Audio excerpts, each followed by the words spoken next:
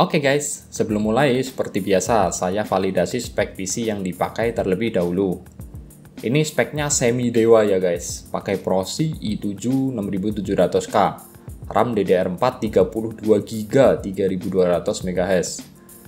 Dan VGA-nya tentu saja GeForce GTX 970 4GB dari brand Galax. Jadi ini PC temen yang saya pinjem buat tes mining.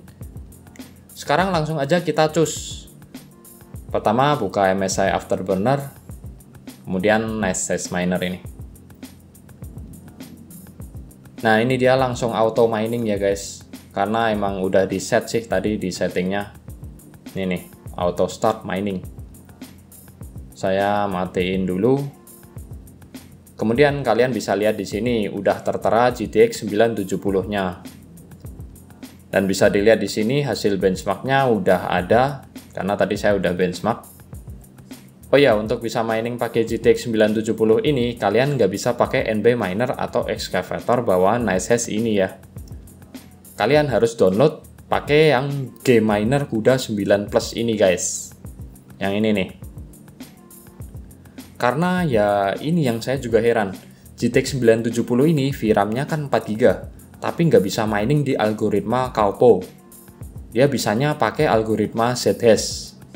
Jadi sama-sama ya kayak VGA yang VRAM-nya cuma 2 GB gitu. Di sini bisa kalian lihat hasil benchmarknya. Speednya 25 sol per S sekian lah.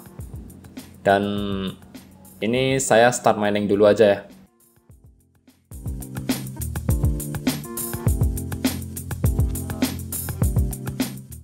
Dan penghasilannya adalah 0,00873 MBTC per hari.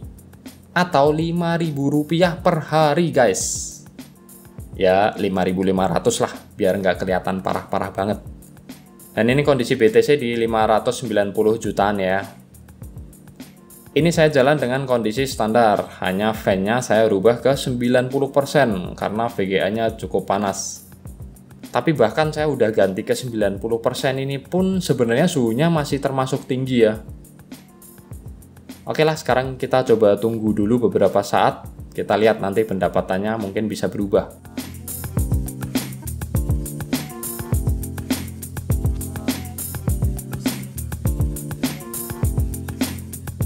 Pendapatannya masih tetap ya guys, segini-segini aja. Suhunya pun masih terus naik. Waduh, dan konsumsi dayanya ini juga luar biasa, 185 watt. Mantap nih. Kalau begini sih dijamin rugi ya ini guys buat bayar listrik. Bakalan minus. Oleh karena itu saya akan coba menurunkan power limit. Sekalian coba nambahin core clock 50 aja kali-kali naik hash rate-nya. Dan memory clock sekalian lah plus 100. Kita save. Balik lagi memory clocknya. Udahlah biarin. Toh mining di Zhash ini lebih butuh core speednya. Core clock bukan memori. Nggak kayak ETH ya Ethereum. Sekarang mari kita tunggu lagi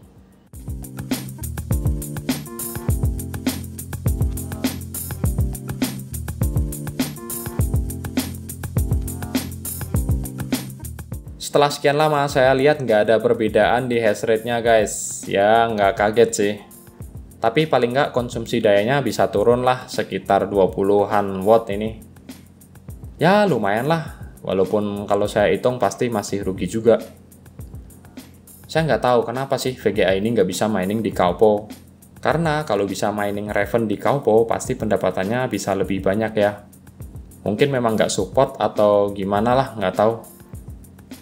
Yang jelas kesimpulan saya adalah mining pakai GTX 970 ini nggak worth sama sekali ya guys. Mending buat gaming aja. Oke, cukup sekian. Makasih udah nonton dan jangan lupa like and subscribe.